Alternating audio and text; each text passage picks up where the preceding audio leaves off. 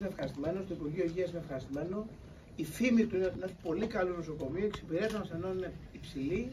Στις μεταρρυθμίσεις μπήκατε πρώτοι και πιο δυνατά από όλους τους άλλους και θα σας ευχαριστώ πάρα πολύ γι' αυτό. Δείχνει και ένα πνεύμα που υπάρχει στο νοσοκομείο. Και μην ακούτε που αντιδρούν. Θα σας πω μόνο τι έγινε σήμερα, το ξέρω εδώ ο φίλος μου ο κ. Σερέτη, ο διοικητής της Υγειονομικής Περιφέρειας. Ανακοινώνουν σήμερα ότι θα γίνει το πρώτο απογευματινό χειρουργείο στο νοσοκομείο της Χαλκίδας. Αμέσως βγαίνει εκεί ο σύλλογος και λέει θα κάνουμε κινητοποίηση για να τα εμποδίσουμε. Μια χαρά έγινε το χειρουργείο. Τέσσερις άνθρωποι μαζεύτηκαν από το σύλλογο.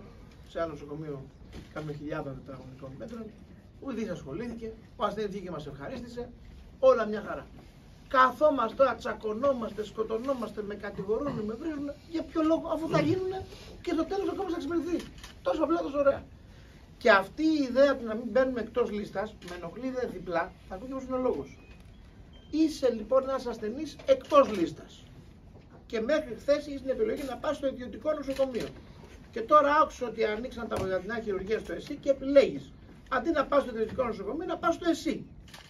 Και γιατί κόπτονται οι αριστεροί αν θα χάσει έναν ασθενή το χ ιδιωτικό νοσοκομείο; Για ποιο λόγο στεναχωριούνται; Τι έγιναν εκπρόσωπο τύπου των κλινικαρχών; Εμείς θέλουμε περισσότερο στο ΕΣΥ. Δεν κατάλαβα. Δεν είμαστε με το ΕΣΥ. Με τους κλινικάρχες είμαστε. Δηλαδή είναι όλο παράλογο και δίθεν αριστερό, ενώ στην πραγματικότητα είναι αυτό που είναι τέλο πάντων.